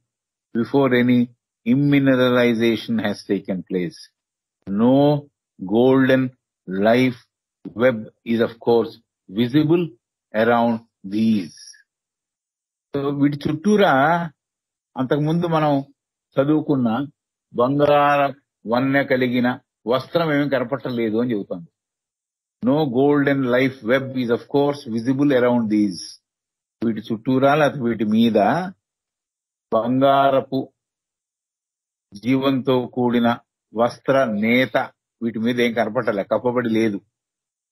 కనపట్టలేదు విజిబుల్గా లేదు. దీని చుట్టూరా ఉన్నాయా అంటే కనపట్టాలా అని చెబుతున్నారు. సో దాని ముందర స్టేట్ అది. Visible around these only the radiant golden threads which connect them with a పర్మ్ parent జీవాత్మాస్ are to be seen అది కనపట్లేదు కానీ ఖనిజ పదార్థత పొందే ముందర స్థితిలో ఉన్నాయని తెలుసుకున్నాం. సువర్ణ లేక బంగారు జీవము యొక్క వస్త్ర నేత దాని చుట్టూరా కనపడదు వాటి చుట్టూలా కనపడదు ఈ తేలుతున్న ఆకారాల చుట్టూ కనపడదు. కొన్ని బంగారు రంగు దారాలు మటుకు ప్రకాశిస్తూ మూల జీవాత్మతో సంబంధం ఉన్నట్టుగా కనిపిస్తాయి. పేరెంట్ అంటే మూలము. ఎక్కడి నుంచి వచ్చిందో దానికి ఆ పుట్టడానికి వీలైన ఎక్కడ ఏ స్థితిలో మూల స్థితి నుంచి వచ్చిందో ఆ బంగారు రంగు దారాలు ప్రకాశిస్తూ మూల జీవాత్మతో సంబంధం ఉన్నట్టుగా కనిపిస్తున్నాయి. సో పూర్తిగా వస్త్రాలు వస్త్రత ఏర్పడలేదు కానీ అక్కడక్కడ బంగారు రంగు దారాలు కనిపిస్తున్నాయని చెబుతోంది. బిఫోర్ ఇది ఇమ్యూనలైజేషన్ హెస్ టేకెన్ ప్లేస్ ఈ ఖనిజతత్వము పొందే ముందర ఈ బంగారు వస్త్రత లేదు. అయితే ఏం కనిపిస్తోంది? The radiant golden threads radiant అంటే ప్రకాశవంతమైన బంగారు వన్నెగల రంగ్ దారాలు which connect them with the parent జీవాత్మ. సో మూల జీవాత్మలకి సంబంధత నెలకొల్పే విధంగా బంగారు రంగు గల దారాలు కనిపిస్తున్నాయి. వస్త్రం లేదు కానీ కొన్ని కనెక్షన్స్ ఉన్నాయి. మూలంగా ఉన్న జీవాత్మతో అని చెప్తున్నారు. So before any in mineralisation has taken place no golden life web is of course visible around these దాని చుట్టూరా ఆ బంగారపు లైఫ్ వెబ్ అయితే లేదు. జీవత్వంతో కూడిన వస్త్ర నేత అయితే లేదు. అయితే ఏది కనిపిస్తోంది? Radiant golden threads which connect them with their parent జీవాత్మాస్ are to be seen shining with a strange lustre which belongs to their birth plane ఇవన్నీ కూడా ఒక వెలుగుతో కనిపిస్తున్నాయిట ఈ బంగారు రంగు దారాలతో కనెక్షన్ ఉంది. వాటి యొక్క పర్మనెంట్ జీవాత్మ వాటి యొక్క పేరెంట్ జీవాత్మతో కలిసి కనెక్ట్ అయి ఉన్నాయి. అయితే ఆ పేరెంట్ జీవాత్మ ఎక్కడ ప్లేన్లో ఉందో ఆ ప్లేన్కి సంబంధించిన వెలుగుతో అలాంటి ప్రకాశత్వంతో ఇవి కనిపిస్తున్నాయి. ఈ ప్రకాశత్వం దేనికి సంబంధించిందంటే బర్త్ ప్లేస్కి బర్త్ పరితలానికి సంబంధించింది. ఈ బర్త్ ప్లేన్ ఎక్కడుంది? బర్త్ ప్లేన్ మీద ఏముంది? దీనికి కారణభూతమైన జీవాత్మ ఉంది. కాబట్టి radiant golden threads which connect them with the parent Jivatmas are to be seen shining with that strange luster, ఓ విచిత్రమైన బ్లాస్టర్ అంటే ప్రకాశవంతం which belongs to their birth plane ఆ బర్త్ ప్లేన్కి సంబంధించినది. దానికి సంబంధించిన వెలుగుతో ప్రకాశంతో ఇవి కనిపిస్తున్నాయి. Innermost of these three layers ఈ మూడు లేయర్స్లో లోపల ఉన్నది. ఒకటి పైన రెండు లోపల మూడోది లోపలికి వెళ్తుంటే. Innermost of these three layers consist of physical monadic essence innermost of these three layers consist of physical monadic essence కాబట్టి ఈ అన్నిటికన్నా లోపల ఉన్న మూడు పొరల్లో భౌతిక భగవత్సారముతో కూడి ఉన్నది. అంటే ఆ పొరలో భౌతిక తలము యొక్క అణువులు చోటు చేసుకుని ఉన్నాయి అని అర్థం చేసుకోవాలి. Innermost of these three layers consist of physical monadic essence that is the layer is composed of atoms of the physical plane so భౌతిక తలానికి సంబంధించిన అణువులతో సంబంధించిన ఆ సారముతో సంబంధించిన ఇవి మూడవ పొరలో కనిపిస్తున్నాయి. ఒకటి రెండు మూడు. నేను పైనుంచి వెళుతున్న అర్థం చేసుకోవడానికి. పైన ఒకటి అంటే మధ్యలో రెండోది అయితే మూడోది కింద. మూడో దాంట్లో ఏముందంటే ఫిజికల్ ప్లేన్కి సంబంధించిన ఎసెన్స్ ఉంది. మొనాటిక్ ఎసెన్స్ భగవత్ తత్వం ఉన్నది. భగవత్ సారం ఉన్నది. ఆ ఆ సారంలో భగవంతుడి సారంతో పాటు ఈ సెకండ్ లోగోస్ యొక్క జీవతత్వం కూడా అక్కడ కనిపిస్తోంది అని చెబుతున్నారు. The most of these three layers consist of physical monadic essence that is the layer is composed of atoms are the physical plane భౌతిక తరములో ఉన్న అణువులకు సంబంధించిన ఆ పదార్థము. తో కూడినది ఆ మూడవ పొరలో ఉన్నది. Ensouled with the life of the second logos దీని చుట్టూరా ఏముంది? రెండవ భగవదంశ యొక్క జీవతత్వము దాని చుట్టూరా ఉన్నది. ఎన్సోల్డ్ అంటే కప్పబడి ఉంది. మూ- రెండవ భగవదంశ యొక్క ప్రాణతత్వము ఆ మూడవ పొర మీద కప్పబడి ఉన్నది. At first sight these innermost layers first sight these innermost layers appear to be identical సూక్ష్మత పొంది ఉన్నాయి కాబట్టి మనం మామూలు నేకేడైతో అయితే చూసినా గుర్తుపట్టలేని స్థితిలో ఉన్నాయి కాబట్టి ఒకే పోలికతో ఉన్నాయేమో అనిపించేట్టుగా ఉంది.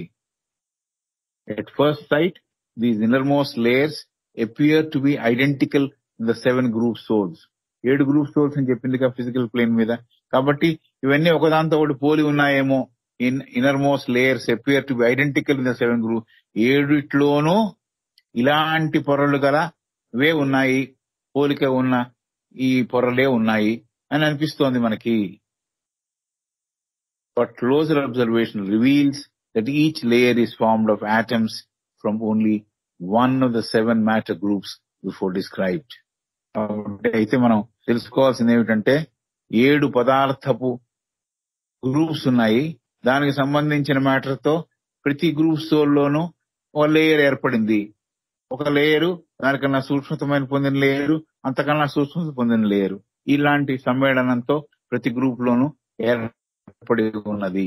At first these layer these innermost layers appear to be ఐడెంటి ఏడిట్లోనూ తేడా లేదు ఒకేలాగా ఉన్నాయని అనిపిస్తుంది ఏడు గ్రూప్ సోల్స్ లోను బట్ ఇంకా జాగ్రత్తగా చూస్తే close observation reveals that each layer is formed of atoms from only one of the seven matter groups before described.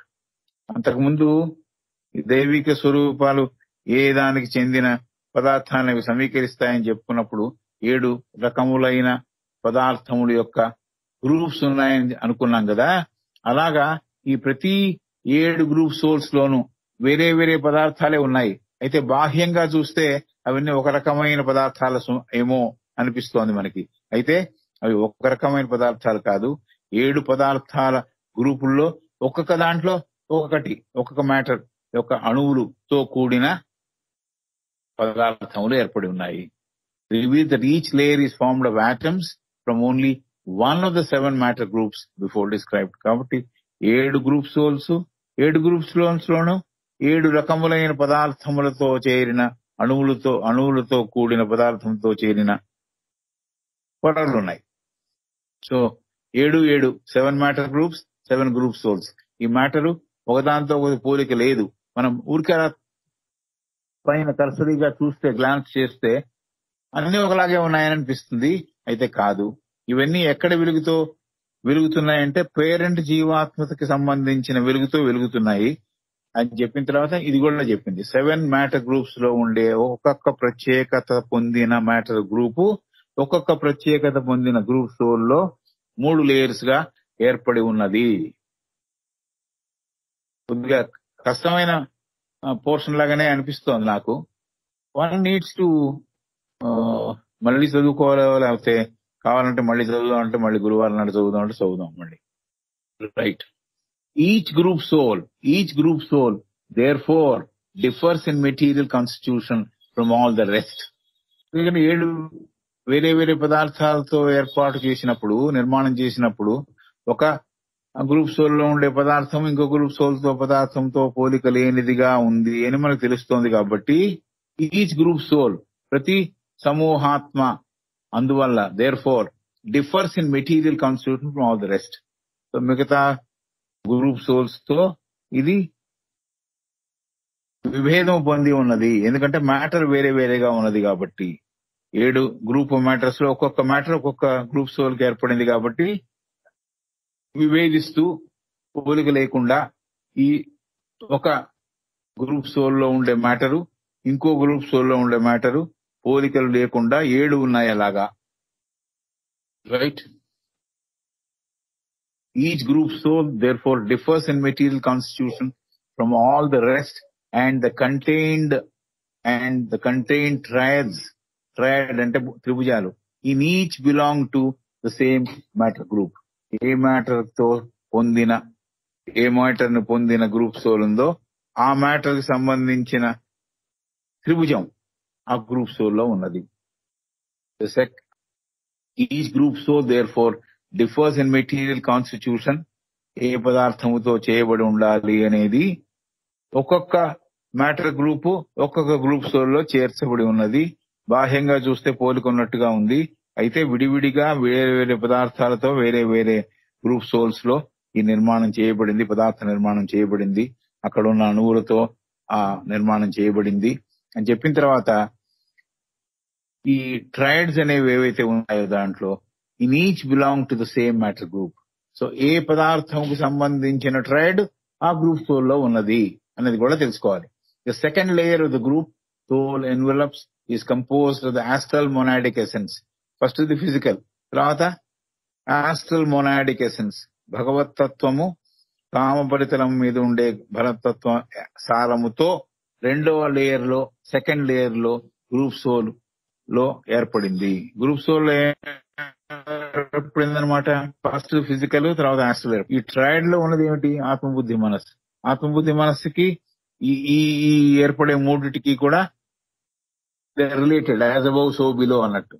కాబట్టి అది అది మనకు చెప్పడానికి second layer of the group soul envelope is composed of astral monadic essence belonging to the same matter group as the first and the third of units the fourth sub plane of mental matter at the same time so ఇది ఇలాగా కామపరితలకు సంబంధించిన అలాగే మానసిక తరానికి సంబంధించిన పదార్థము మూడవ పొరలో స్థానం పొంది ఉన్నది. The triple envelope is the protector and nourisher of the triads contain within it ఈ మూడు తత్వంలో కలిగిన ఈ తొడుగు ఏదైతే ఉందో సంచి ఏదైతే ఉందో అదే పోషిస్తోంది రక్షిస్తోంది. Of the triads contain within it ప్రతి దాంట్లో ఉండే త్రిభుజాలని త్రిభుజ తత్వాలని ఈ ట్రిపుల్ ఎన్వెలప్కు మిగతా వాటి సంగమం వల్ల దెబ్బ తగలకుండా దాన్ని ప్రొటెక్ట్ చేస్తోంది. This triple envelope is the protector and nourisher of the triads contain within it veritable embryos incapable as yet of separate independent activity ఇవన్నీ కూడా మూడు పొరల తొడుగులతో ఏర్పడిన త్రిభుజాలని ఈ ఎన్వెలప్ రక్షిస్తోంది పోషిస్తోంది. రైట్ ప్రతిదానికి గురించి ఒక ఎన్వెలప్ ఏర్పడింది. దాంట్లో మూడు లేయర్స్ ఉన్నాయి. మూడో లేయర్ లోపల ఉన్న లేయర్లు ఫిజికల్ తర్వాత కాము తర్వాత మానసిక ఇవన్నీ చెప్పింది కదా. సో ఈ తొడుగు పైన ఉన్న తొడుగు రక్షిస్తోంది. కావలసిన ఆహారాన్ని న్యూట్రియంట్స్ని పోషక పదార్థాలని అందిస్తోంది అని చెప్పారు.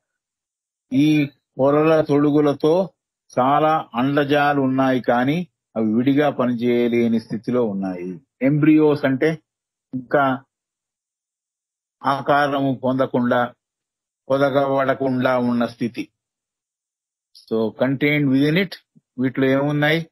Veritable embryos veritable embryos embryos అంటే అండ్లజములు ఉన్నాయి. Incapable as yet of separate independent activity ఇంకా అప్పుడే వాటంతట అవే పనిచేయలేని స్థితిలో ఉన్నాయి. విడిగా వాటంతట అవి పనిచేయలేని స్థితిలో ఉన్నాయి. సో ఇది ఈ గ్రూప్ సోల్స్ యొక్క రెండు రెండు పారాగ్రాఫ్ చదివాం. But bit tough because the description is something which we are not familiar with.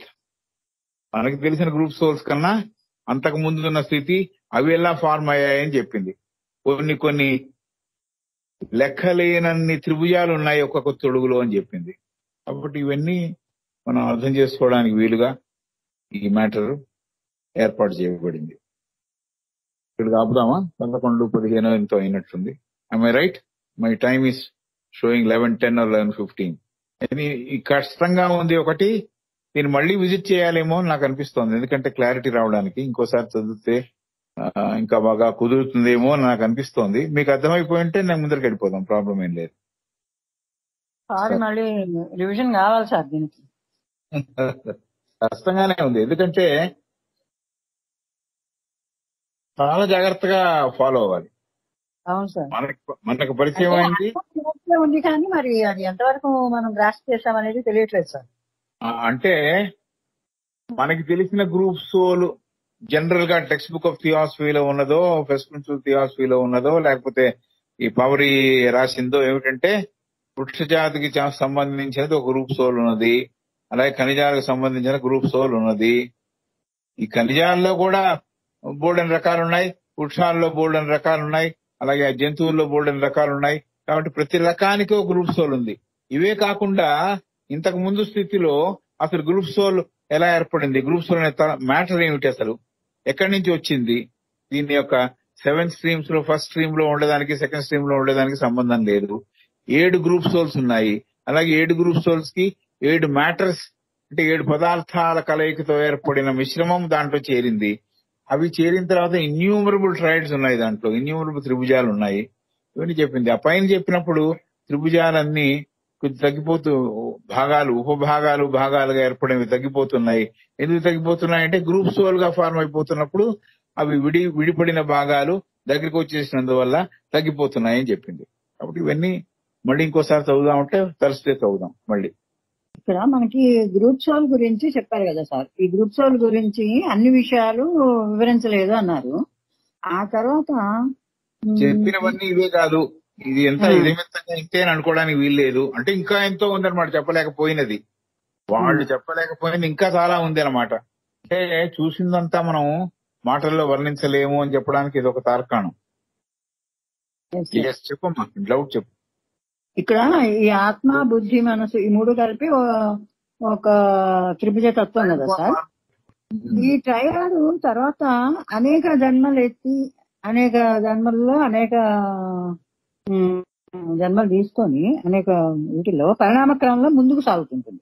ఈ సాగుతున్నప్పుడు ఈ సమూహాత్మలు ఏమవుతున్నాయి సార్? అక్కడ ఏకత్వం పొందిన తర్వాత అవి మళ్ళీ శాశ్వత త్రిభుజాకారాన్ని పొందేదాకా పొందిన తర్వాత ఆ తర్వాత ఏం జరుగుతుంది అనేది అర్థం కాలేదు సార్ అక్కడ నాకు. రాయలేకపోయాను. Give a different example bucket ఉంది. ఆ బకెట్లో ఆత్మబుద్ధి మనస్సు ఉంది. రైట్ ఆత్మబుద్ధి. మనస్సు ఉంది అనుకుందాం. ఒక ఒక జంతు జాతికి సంబంధించిన ఆత్మబుద్ధి మనస్సు ఆ బకెట్ దాంట్లోంచి ఆత్మబుద్ధి మనస్సునే ఏ పులి ఆధారం చేసుకుని ఏ పులి వచ్చింది? బి పులి వచ్చింది సి పులి వచ్చింది. ఊరికే మూడుతో ఆపుతున్నా. ఈ ఏ మళ్ళీ మళ్ళీ మళ్ళీ జన్మలు ఎత్తుతోంది. వేరే వేరే పులులుగా మారుతోంది. వేరే వేరే పులులుగా అలాగే బి కూడా మారుతోంది సి కూడా మారుతోంది. అలా మారినప్పుడు అలా ఎదిగినప్పుడు ఏమవుతోందంటే ఎదుగుదల పరిణామ క్రమంలో సాధిస్తోంది. సాధించిన తర్వాత ఎప్పుడో ఒక స్టేజ్లో అది ఇండివిజువలైజ్ చేయడానికి ఇండివిజువలైజ్ అవ్వడానికి ఉన్న స్థితికి చేరిపోతుంది. ఇండివిజువలైజ్ అవ్వడం అంటే మనిషిగా మారిపోవడానికి వీలైన ఆత్మబుద్ధి మనస్సుగా నేను గ్రూప్లో ఒక సోల్ ఉంది గ్రూప్ సోల్ ఉంది. ఆ గ్రూప్ సోల్ ఇన్ని ఎదిగిన తర్వాత దానికే ఒక గ్రూప్ సోల్ దానికి అమర్చి అది పనిచేయడానికి వీలుగా ఏర్పాటు చేయబడుతుంది. అదే మానవాకారం. కాబట్టి ఇది ఫస్ట్ పెట్టింది ఏమిటంటే ఈ బకెట్ గ్రూప్ సోల్లో బకెట్ గ్రూప్ సోల్లో చెప్పి చెప్పారు. సరే అది కాకుండా ఈ ఏడు గ్రూప్ సోల్స్ ఉన్నాయి. ఏడు గ్రూప్ సోల్స్లో ఏడు మ్యాటర్స్ ఉన్నాయి. ఈ ట్రైడ్ యొక్క పని ఎప్పుడు కంప్లీట్ అవుతుంది? పర్ఫెక్షన్ వచ్చినప్పుడు. పర్ఫెక్షన్ ఎప్పుడు వస్తుంది? మళ్ళీ మళ్ళీ మళ్ళీ జన్మలు ఎత్తినప్పుడే వస్తుంది. అది అన్ని జాతలకు సంబంధించింది అదే. మనిషికి అదే సంబంధిస్తుంది. మనిషికి కూడా అలాగే మళ్ళీ మళ్ళీ జన్మలు ఎత్తి అతను ముందరికి వెళ్ళాలి సాగాలి పర్ఫెక్షన్ పొందాలి. అలాగే ఈ పులి జాతిలో నేను పర్ఫెక్షన్ సంపాదించాలంటే కూడా ఒక పది జన్మలో పదకొండు జన్మలో ఎన్ని జన్మలో? ఎత్తిన తర్వాత కానీ నెక్స్ట్ స్టేజ్కి చేరదు అది. I suppose you got it now ప్రతి జన్మలోనూ ప్రతి జంతు జాతిలోనూ మానవుడు కూడా ఒక జంతు జాతే కదా. మానవుడు కూడా మళ్ళీ మళ్ళీ మళ్ళీ పుట్టి ప్రొఫెషన్కి వస్తున్నాడు. అలాగే ప్రతి ప్రతిదీను including minerals including trees including animals అవన్నీ కూడా ఈ గ్రూప్ సోల్తో ఉన్నందువల్ల ఫస్ట్ మామూలుగా ఒక మామూలు పిచ్చి మొక్కగా వచ్చింది అనుకుందాం ఆ పిచ్చి మొక్క మళ్ళీ మళ్ళీ మళ్ళీ వచ్చి తులసి మొక్క మారేదాకా ఊరికి పర్ఫెక్షన్ ఇండికేటర్గా తులసి మొక్క అని చెబుతున్నా. పిచ్చి మొక్క మళ్ళీ మళ్ళీ పుట్టి తులసి మొక్క అయ్యేదాకా మళ్ళీ మళ్ళీ అదే ఆత్మబుద్ధి మనసుతోనే అది పనిచేస్తోంది. పర్ఫెక్షన్ వచ్చిన తర్వాత అక్కడి నుంచి నెక్స్ట్ స్టేజ్కి మారిపోతుంది. నెక్స్ట్ స్టేజ్ ఏమిటి? ఆ మొక్కకి యానిమల్ ఫీల్డ్లో పడడం. యానిమల్ ఫీల్డ్లో మళ్ళీ అక్కడ ఎక్కి ఎత్తిన తర్వాత నెక్స్ట్ స్టేజ్కి వస్తుంది. ఎక్కడికి వస్తుంది? ఇండివిజువలైజ్ అయిన మానవుడి స్టేట్లోకి వస్తుంది. మానవుడి స్టేట్లో ఎన్నిసార్లు ఎన్ని ఎన్ని జన్మలు ఎత్తితే ప్రొఫెషన్ వస్తుందో that also depends on his effort కాబట్టి ప్రతి దాంట్లోనూ ప్రతి దాంట్లోనూ అనేక జన్మలు ఉన్నాయి కాబట్టి మానవ జన్మ దుర్లభం అని చెప్పేది. ఇది మనం వచ్చేసాం కాబట్టి మనం ఓహో అనుకుంటున్నాం కానీ మన ముందర ఎంత పని జరిగిందో ఎంత ఆ, ప్రయాణం చేసి వచ్చామో అనేది చెప్పడానికి ఇది బాగా అర్థం చేసుకోవడానికి బాగా పనికొస్తుంది. కదా? మానవ జన్మ ఎత్తాకంటే మనం ఏదో పరిణామ క్రమంలో ముందుకెళ్ళాలని ప్రయత్నం చేస్తాం సార్. మానవ జన్మ ఎత్తాకంటే ఇండివిజువలైజ్డ్ ట్రయడ్ ఒకటి. పులికి లేదు ఇండివిజువలైజ్ ట్రయడ్ ఒక బకెట్లో ట్రయడ్ ఉంది అంతే. బకెట్లో ట్రయడ్ ఉంది. అలాగే కుక్కలకు బకెట్లో ట్రయడ్ ఉంది. ఆత్మబుద్ధి మనస్సు అనే తత్వము ఒక గ్రూప్లో ఉంది. కుక్కల గ్రూప్ ఒకటి ఉంది. పులి గ్రూప్కి ఒకటి ఉంది. మనిషి వచ్చేటప్పటికి మనిషికి విడిగా ఆత్మబుద్ధి మనసు ఏర్పడింది.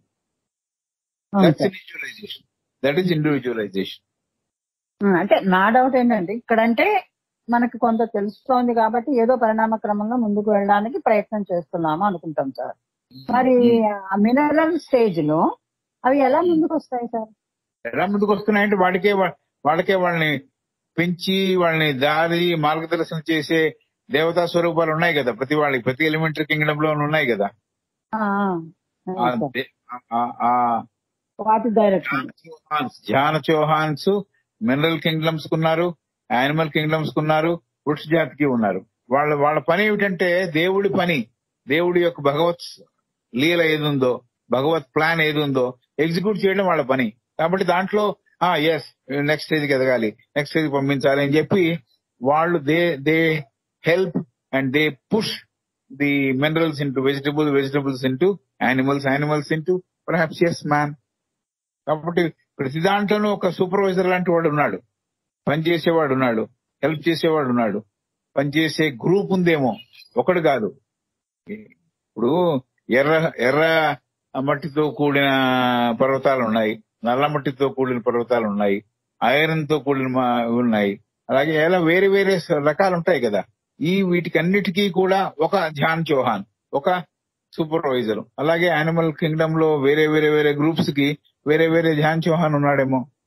Because elephant and dog are supposed to be nearer to man అక్కడ వచ్చేదాకా ఎవరు పుష్ చేయాలిగా వాటిని?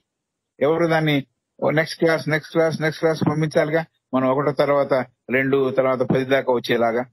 పది తర్వాత yes we think we know something we are now graduated to college కాలేజీలో అడ్మిట్ అవ్వడం ఇండివిజువలైజ్ అవ్వడం అని అనుకుందాం. ప్రత్యేకత పొందడం అనుకుందాం. అప్పటిదాకా ప్రతి క్లాస్ లోనూ మనని ముందుకు తోసేవాళ్ళు ప్రతి క్లాస్ టీచరు ఉన్నట్టు జాన చౌహాన్లు ప్రతి జాతిలోనూ ఉన్నారు. మినరల్ జాతిలో ఉన్నారు వృక్ష జాతిలో ఉన్నారు అలాగే యానిమల్ జాతిలో ఉన్నారు. వృక్షాల్లో ఎన్ని రకాలు ఉన్నాయి అలాగే ఖనిజాల్లో ఎన్ని రకాలు ఉన్నాయి అలాగే యానిమల్లో ఎన్ని రకాలు ఉన్నాయి వీటికన్నిటికీ కూడా వాళ్ళని గైడ్ చేసి నెక్స్ట్ స్టేజ్కి పంపించి వాళ్ళని ఉత్తీర్ణత పొందేటట్టుగా చేసే ధ్యాన చౌహానులు పనిచేస్తున్నారు. వీరు ఎవరు రిప్రజెంటేటివ్స్ అంటే భగవంతుడి యొక్క రిప్రజెంటేటివ్స్ భగవంతుడి యొక్క రిప్రజెంటేటివ్స్ వాళ్ళ ద్వారా ఇవంతా ఈ పరిణామక్రమం ముందుకు సాగుతోంది. వాళ్ళంతా అవే చేయలేవు. మనిషే చేయలేకపోతున్నాడు కదా. మనిషే చేయలేకపోతున్నాడు బికాస్ మ్యాటర్లో ఇరుక్కుంటున్నాడు. మ్యాటర్లో ఇరుక్కుంటే ఈ doesn't know what is spiritual అనేది తెలియట్లా. కాబట్టి యానిమల్స్కి ఏం తెలుస్తుంది? వాడికి స్వంతగా ఆత్మబుద్ధి మనసు అనేది లేనప్పుడు ఎవరో వాడిని పుష్ చేయాలి. పుష్ చేయడానికే ఈ చౌహానులు ఉన్నారు. మాస్టర్స్ ఉన్నారు. మాస్టర్స్ అంటే మన మాస్టర్స్ కాదు. People who have succeeded in reaching that stage Dhyan Chohan stage so ఆ ధ్యాన చౌహానులు ఎవరి తరఫున పనిచేస్తున్నారంటే భగవంతుడి యొక్క ప్లాన్ అని ఎగ్జిక్యూట్ చేస్తారు. సో అవి ఖనిజం నుంచి నెక్స్ట్ ఖనిజం వీటికన్నిటికి ముందర కూడా ఎలిమెంటరీ కింగ్డమ్స్ చదువుకున్నాం మనం. Elementary kingdoms one two three దాంట్లో కూడా దేవతా స్వరూపాలు ఉన్నాయనుకున్నాం కదా. సో అవన్నీ అయిన తర్వాత మినరల్ మినరల్ తర్వాత వృక్షం వృక్షం తర్వాత జంతువు జంతువు తర్వాత మనిషి. కాబట్టి చాలా పెద్ద ప్రోగ్రెస్. మనం ఏదో ఇక్కడ వచ్చి కూర్చున్నాం కాబట్టి మనం బో ఏం లేదేమో అనుకుంటున్నాం కానీ ఎన్నో ఎన్ని యుగాలు పడి- పడి ఉన్నామో లేచి వచ్చామో మనకి తెలియదు యాక్చువల్గా. వీ డోంట్ నో దట్ ఎంత కాంప్లికేటెడ్ కదా ఈ సృష్టి అంతా కూడా. ఎంత కాంప్లికేటెడ్ ఏమిటి మన మన స్థితి ఏమిటి? మనం ఇదేమిటి మన పుట్పూర్వోత్తరాలు ఏమిటంటే ఎవరికి తెలుస్తుంది ఎవరికి ఆలోచించే వాళ్ళకైనా కూడా చదువుకొని దాని మీద ధ్యానం చేసి ఓహో ఇంత ఉందా అని తెలుసుకునే వాడికి బాగా అవగాహన చేసుకోవడానికి ధ్యానం. ధ్యానం అంటే విషయార్థం అవడానికి దాని మీద ఏకాగ్రతతో పరిశీలించడం. అలాగే పోయిన చాప్టర్ క్లోజ్ చేస్తూ యోగిక్ ప్రాక్టీసెస్ చేసినందువల్లే ఫోర్త్ రౌండ్లో ఉన్నప్పుడు కూడా ఫిఫ్త్ రౌండ్ వాడు సిక్స్త్ రౌండ్ వాడు చేరి ఫోర్త్ రౌండ్లో బాడీ పెట్టుకుని ముందరికెళ్తాడని చెప్పి. అది చాలా చాలా జాగ్రత్తగా ఫాలో అవ్వాల్సిన విషయం. ఫోర్త్ రౌండ్ బాడీయే ఉంటుంది వాడికి. But his mental status or his other status is of different genre genre. Fifth fifth rounder sixth rounder అంటే వాడు ఎక్కడున్నాడో మనం ఎక్కడున్నాం మామూలు స్థితిలో ఉన్నాం. కాబట్టి అది సాధన వల్ల అతను సాధించాడు. యోగిక్ ప్రాక్టీసెస్ అంటున్నారు కానీ యోగిక్ ప్రాక్టీస్ అనగానే మనకి బాగా గుర్తుకొచ్చేది ఆసనాలు. ఆసనాలతో సంబంధం లేదు. అలాగే వాయు స్తంభన వీటితో సంబంధం లేదు. యాక్చువల్గా మనం ఈ ఈ దళసరి శరీరాలను దాటిపోయే పరిస్థితి మనకు తెలిస్తే అది దట్ ఈస్ ద థింగ్ ఈ దళసరి శరీరాలను ఇక్కడ వదిలిపెట్టేసి if you can go up up up above that is the way to go forward and become the man on the path అసలు పాత్ ఉందని తెలవడమే I think we are we are in advance stage fourth fourth round advance స్టేజ్లో ఉన్నట్టే. ఓ path ఉంది అని. Path మీద నడుస్తున్నవాడు maybe yes he belongs to the early stage fifth round కాబట్టి ఆ ఫిఫ్త్ రౌండ్ పర్మనెంట్ ఆటమ్లో ఫిఫ్త్ స్పైరల్ యాక్టివేట్ చేయడం ఆ ఫిఫ్త్ మ్యాటర్ అణువు యొక్క అణువు ఆ పదార్థంతో పనిచేయగలగడం ఇవన్నీ తెలవాలి అతనికి. అవి వస్తుంది ఆటోమేటిక్గా ద సిద్ధులు వస్తాయి. సిద్ధు అంటే I'm not talking about the ordinary siddhis ఈ ఈ స్కిల్ వస్తుంది స్కిల్ వస్తుంది. అందుకనే యోగా కర్మసు కౌశలం అన్నాడేమో ఆయన. అంటే అసలు మనం ఎంత ఎంత వరకు ఇప్పుడు ఇప్పుడు వచ్చిన జన్మకే ఎంతో పరిణామ క్రమంలో మనకి ఎన్నో మనం అచీవ్ చేస్తేనే ఈ మాత్రం వచ్చాం. ఇవి తెలుసుకునే స్టేజ్కి వచ్చామంటే ఎన్ని ఎన్నిసార్లు ఎన్ని జన్మలు ఎత్తి ఇక్కడికి వచ్చామో తెలియదు. అంటే మనం ఒక రకంగా చాలా మంచి అవకాశాలను మనం పొందుతున్నామేమో కాబట్టి జాగ్రత్తగా వాడుకోవాలనిగా ఈ టైము ఈ శరీరము.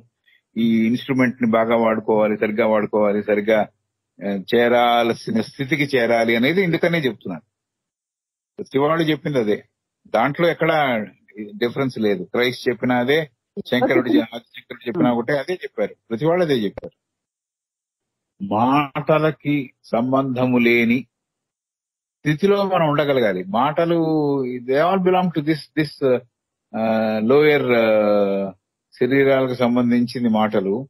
ఈ మాటలకి సంబంధము లేని స్థితిలో ఉండడం అంటే definitely till lower manasic field దాకా మనం కామ శరీరంతో కూడా సంబంధం ఉంది కాబట్టి లోయర్ మెంటల్ బాడీకి ఇక్కడంతా కూడా మన తలపులు మన యాక్షన్స్ మన వర్డ్స్ చేద్దాం చేద్దాం అనిపించడం ఇదంతా కూడా పనిచేస్తోంది. బట్ దీన్ని అధిగమించిన స్థితి ఎక్కడి నుంచి స్టార్ట్ అవుతుంది అంటే top three of the manasic plane higher mental ప్లేన్లో తయారవుతుంది.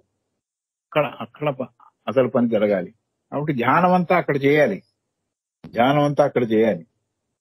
ధ్యానం చేసేటప్పుడు అందుకనే మనం మనం మనం ట్రాన్స్పోర్ట్ చేయగలగాలి. We should transport our to that higher level by reducing the importance ఎందుకంటే ఎంత దాకా వాడుకోవాలో ఈ ఈ ఈ ఫిజికల్ బాడీని అంత దాకే వాడితే ఇతర వాటికి దాన్ని వినిమయం చేయకపోతే అది చెప్పినట్టు ఉంటుంది.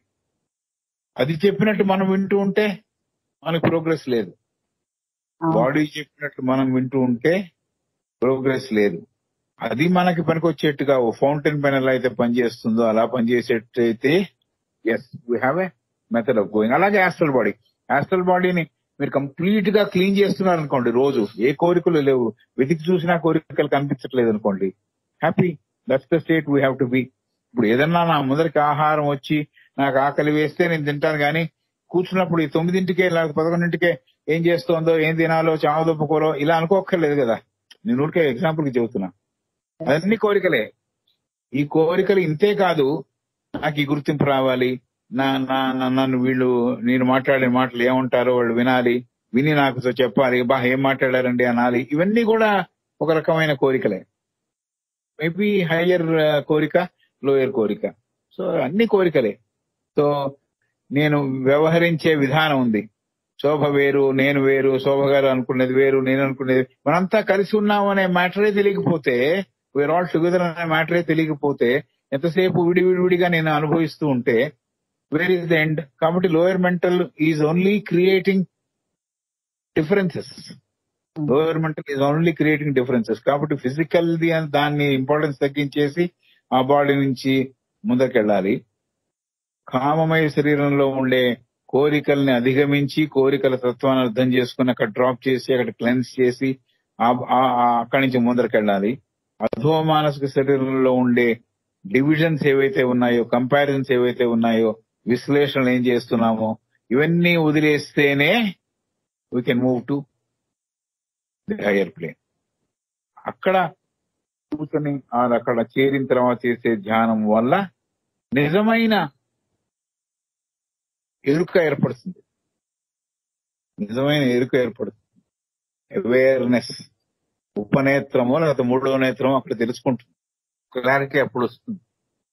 మామూలుగా ఇది అన్ని బయట ఉన్న విషయాలన్నీ చూస్తుంది ఇది. ఈ రెండు కళ్ళు బయట ఉన్న విషయాలను చూస్తుంది. ఇది కావాలి అది కావాలి ఇది కావాలి అది కావాలి అంటుంది. ఎందుకు ఎంపు చేయడానికి పనికొస్తున్నాయి ఈ కళ్ళు? కొన్నిసార్లు చదువుకోవడానికి పనికొస్తున్నాయి కొన్నిసార్లు మంచి విషయాలు చూడడానికి పనికొస్తుందేమో కానీ seventy five to eighty percent బయట వాటిని చూసి ఇవి పొందాలి అనుకునేందుకే ఈ కళ్ళు ఉపయోగించాము ఉపయోగించాం చాలా మంది నేను కూడా.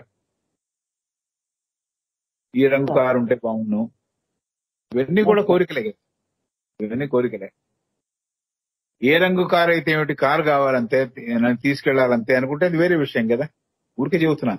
Just example my own self my own self ఇది.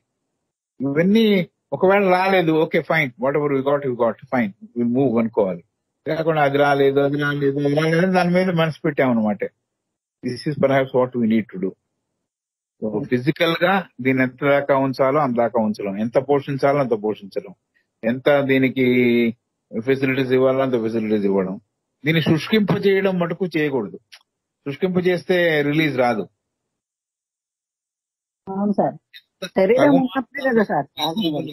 రీజనబుల్గా ఎంత ఉండాలో అంత ఉండాలి.